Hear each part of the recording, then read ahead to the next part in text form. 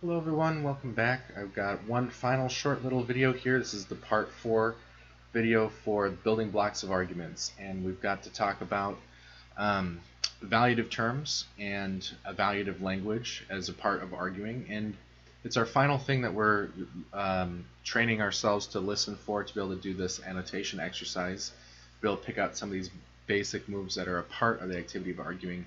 And evaluative terms might um, strike you kind of coming off as like a little different than the other things that we've been uh, looking for that seem more explicitly um, arguing activities. But one of the reasons why we want to be tracking evaluative language very specifically will come to light uh, in our next module um, when we reconstruct arguments in a little more in depth. We'll want it'll be very important to track um, when evaluations are taking place in an argument um, for, for a lot of reasons. But We'll get into a lot of those details later.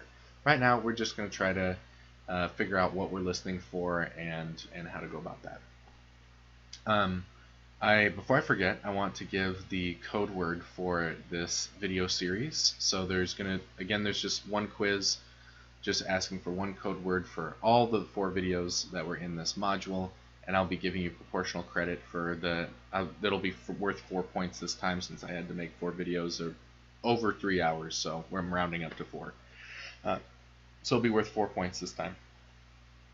Um, and the code word this time, let's do uh, let's do stars. I'm recording this a little late at night, and and the stars are really beautiful out here in Issaquah tonight. So uh, let's do stars. And um, little Luke was having he was like kept looking out the window, wanting to like look up. I don't think he can see the stars yet, but I was noticing them. So stars tonight is the code word um, for the video lectures uh, for building blocks of arguments.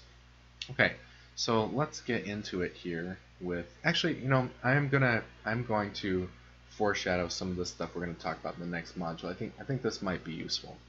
Um, so I think I may have talked about this distinction between uh, normative and evaluative claims before, and the there's um, there's a reason why this distinction matters. Of, of all the claims that we can make, they come into these two categories. We can make evaluative, we can make normative claims, which are evaluative. They're claims about what's good and bad and right and wrong and appropriate or inappropriate or beautiful or ugly, anything like that that's evaluative. That's in the territory here of normative claims. And then we've got descriptive claims. And descriptive claims are just about how the world is. So um, science is in the business of studying descriptive claims, and that's kind of its domain. It can't really um, study morals for example, or ethics, it can study people's moral beliefs because you can it's a descriptive matter whether I value something or whether I hold a certain moral principle. That's a descriptive claim about me and what my belief states are. But whether a, a normative claim, like a moral ethical claim, is actually true is a matter of the value of things, not about how they are. Um, think about it kind of like this um, if you're wondering about this whole science connection. How does science proceed? Well, science proceeds by collecting observations as evidence. That's, that's why we call it empirical. Uh, empirical has to do with knowledge based on experience um, through observation. So uh, science is collecting observations. There's a lot of other things going on. We're actually going to talk about some of the um, patterns of reasoning that take place in science and some parts of it that maybe are more familiar in some parts. I think that'll be less familiar when we get to that um, down the road here a little bit. But all of it's based on observations from experience. And observations can only show you how things are, and they can never show you how things ought to be. There's a big gap between those. We call this in philosophy the is-ought gap.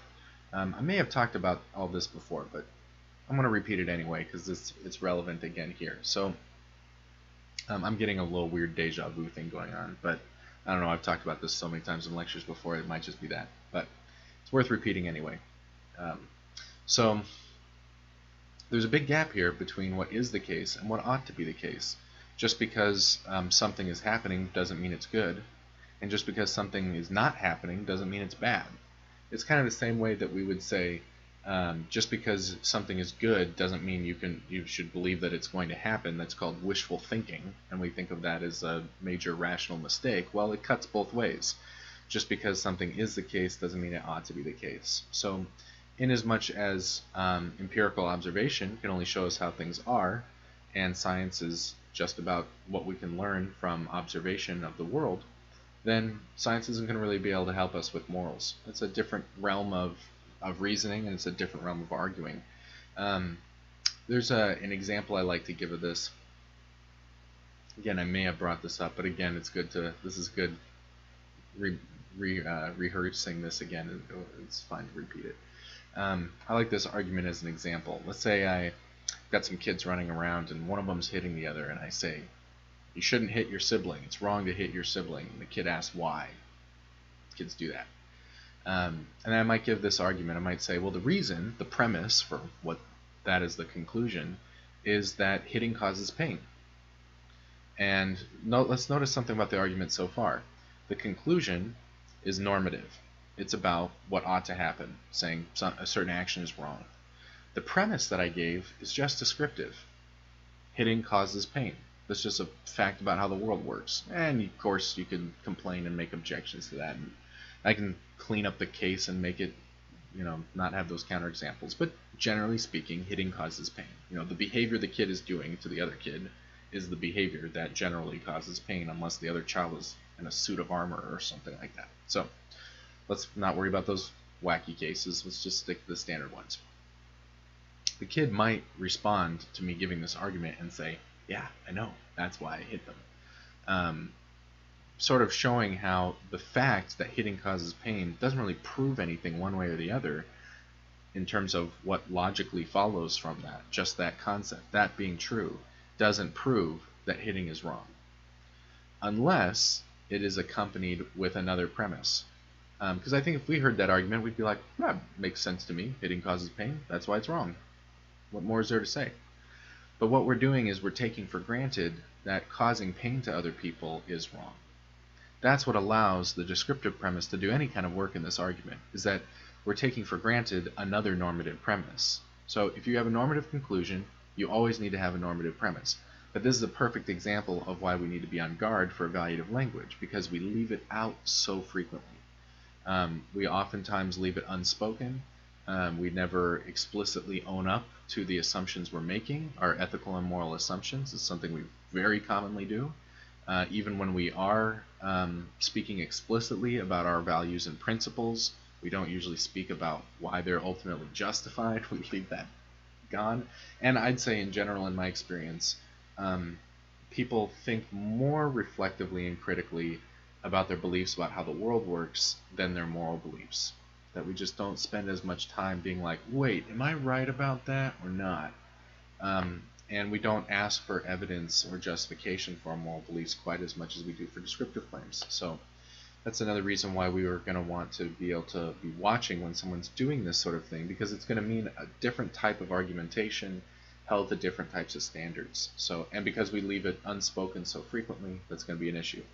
Um, part of the foreshadowing here for the next unit, one of the most difficult things that's going to happen in that module is that we're going to be taking this whole conversational implication interpretation thing to the totally next level when we're trying to reconstruct people's arguments. Just like we don't we use implication to say a lot of the things that we're trying to communicate, when we're arguing, there can be a lot of implication present as well. And there can be parts of the argument that are actually there, even though they're completely unspoken. The fancy word for this is enthymematic arguments.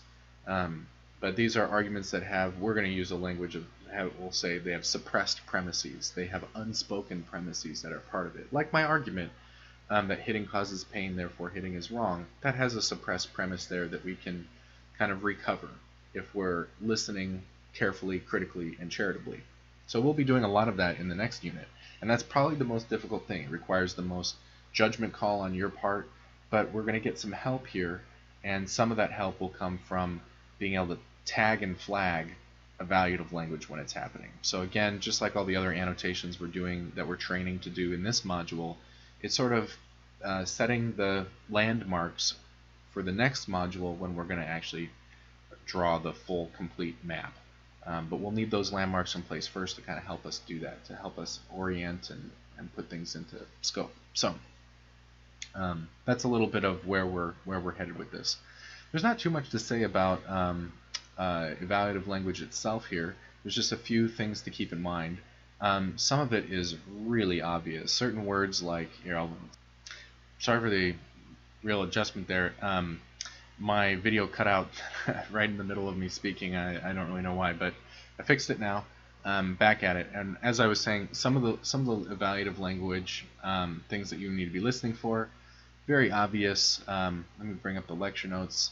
Um, some of it is just right smacks you in the face. These words, like when I was talking about what what are examples of normative claims, they use this kind of language. What's good and bad, what's right and wrong, what we should or should not to do, ought to, ought not to, etc.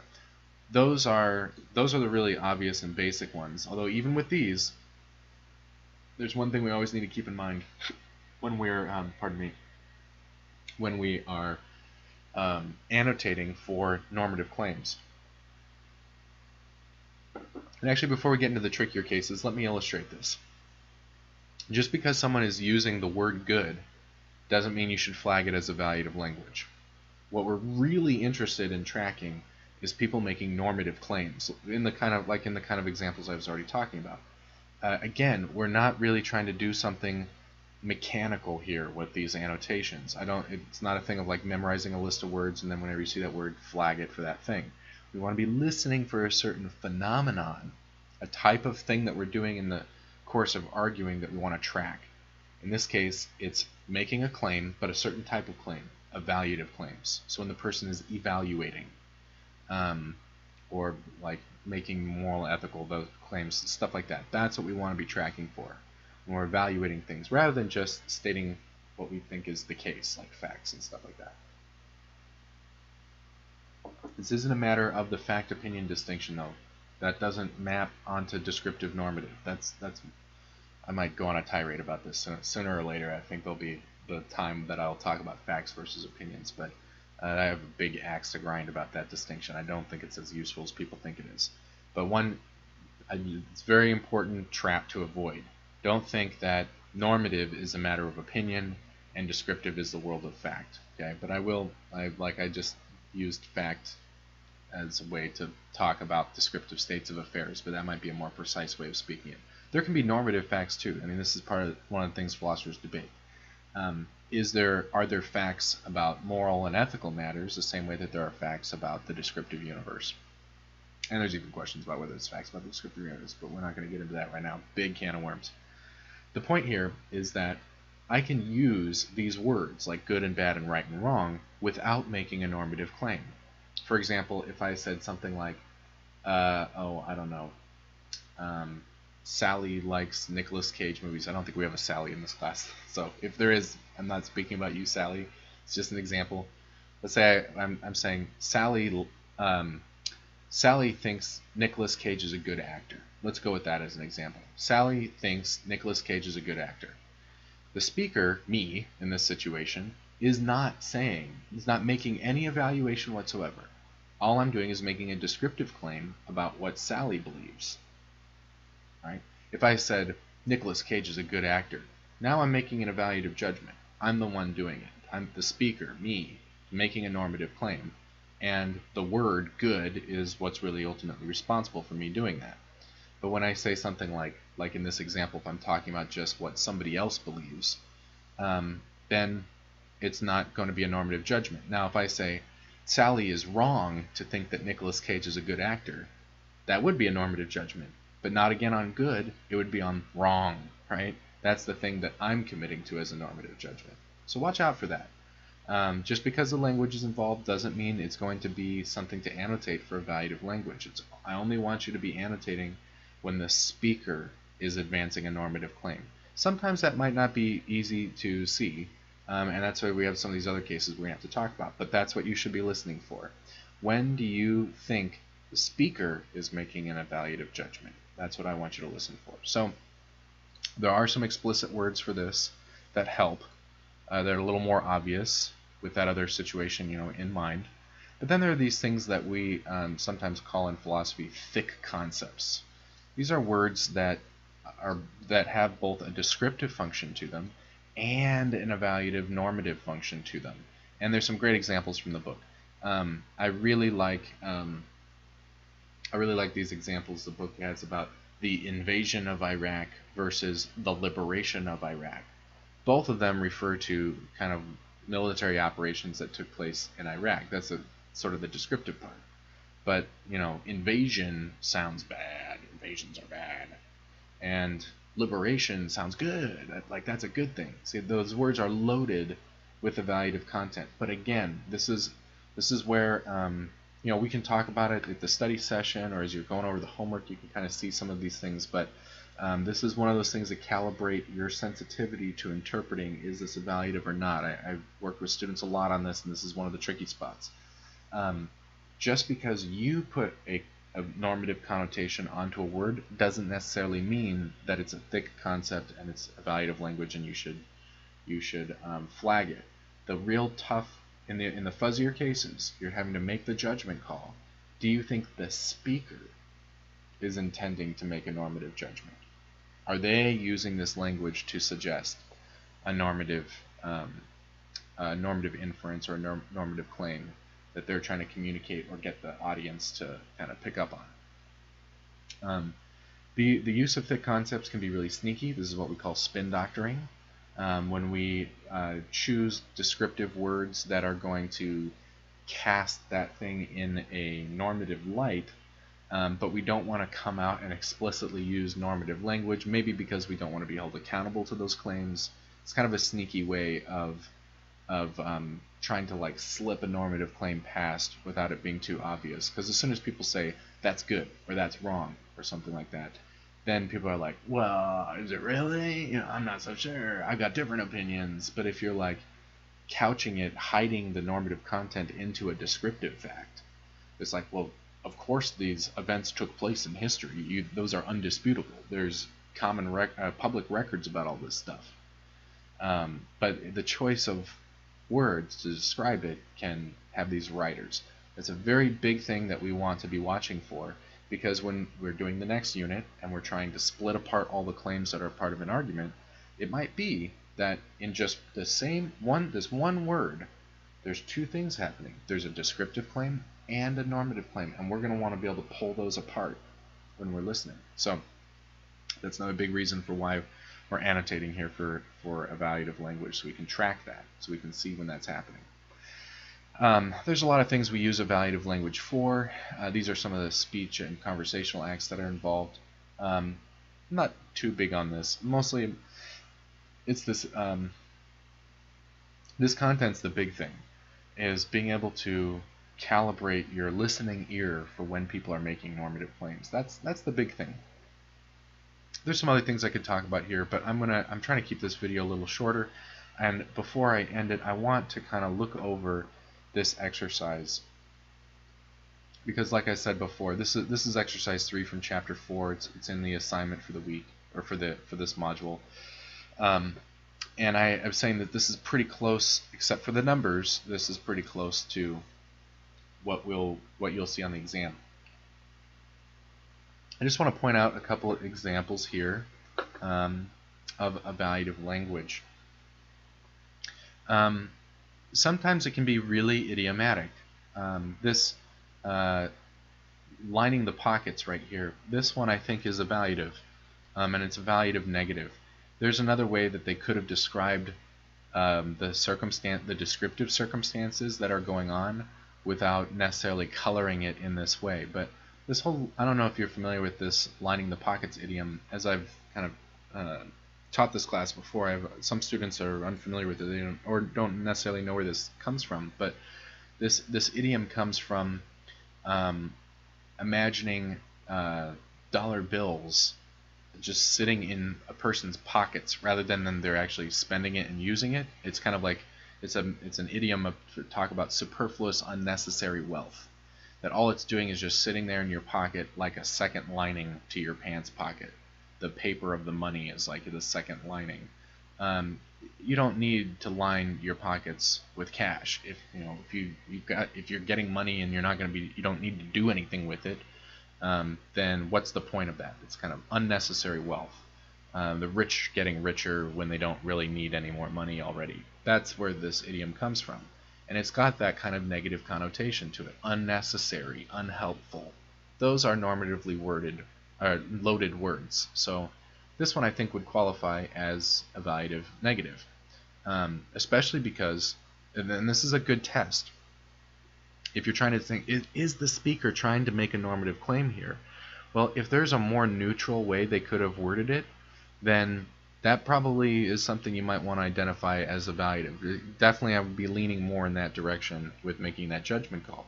If you're looking at the language and you're like, how could they make it any more neutral? I can't imagine a way. Then even if you've got some evaluative connotations with those words, probably shouldn't label it as evaluative. And that's what I think is going on here with this example of large corporations. I've had some students in the past be like, E negative because large corporations are evil. I'm like, how else is the speaker in this situation going to talk about these entities without using that word? I mean, what more neutral language could they offer um, that to if they're if they were trying to avoid making a negative judgment here? Now, definitely in the context of this, um, the speaker is not really concerned about giving large corporations more money, but that action is the thing that they're evaluating. Not necessarily like large corporations are evil in themselves or bad in themselves or something like that. So um, keep that in mind. But here, like a word like poor, in context here, this is going to be e negative. That being poor is not a good thing. When there's a, that's a this is this is actually one of my favorite little um, tips or tricks for you know I know students always love like little techniques to try to help them make these judgment calls. And one of my favorites, I've been using this one for years, is if you think that there's an evaluative positive claim or evaluative negative claim going on, um, try rereading the sentence, putting uh, this kind of like a little aside in after the language that you think is positive or negative, and see if it sort of sounds like what they are really trying to communicate. So like this sort of, I'm imagining like blah blah blah, and that's a good thing, or blah blah blah, and that's a bad thing, that sort of thing. And if that feels natural, if that feels consistent with what you think they're communicating, then you're you might be on the right track. So in this case, if you're looking at this whole thing, it may be a little early in, in the morning to bring this up, but if you buy coffee from large corporations, and that's a bad thing, doesn't seem to really fit there. That doesn't it doesn't uh, doesn't seem to my intuition consistent with what they're saying. So, but so let's that's maybe neutral.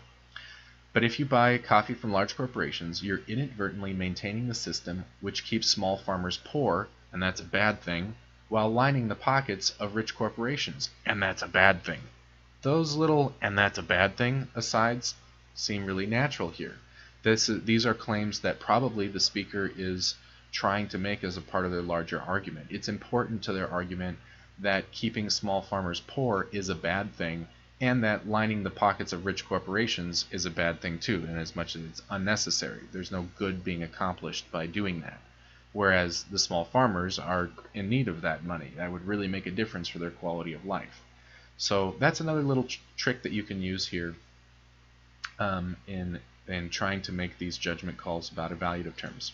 So I hope that helps you with evaluative terms. That's all we've got here again the kind of the full suite of things that we're going to be annotating for like that that exercise is asking you to do are going to be argument markers for premises or reasons. Reasons markers or premise markers however you want to write it. Um, argument markers for conclusions or conclusion markers. Assuring guarding discounting and then evaluative positive and evaluative negative those are the seven things that we're that I'm going to be asking you to annotate for on the exam. You'll get a, a small passage of argumentative prose, and you'll you'll be asked to do that. Um, and you'll you I will not be um, I will not be uh, telling you which language to or what parts of the thing to pick out to give an answer to, like the way that happens in those exercises. You're going to have to pick it out of the whole thing. So that means you really want to be training your ear to listen for these phenomena um, rather than memorizing a list of words and doing this in a more mechanical way. The mechanical way might seem like you know a shortcut, but it really isn't, and it's not going to help you in terms of using this stuff in the real world.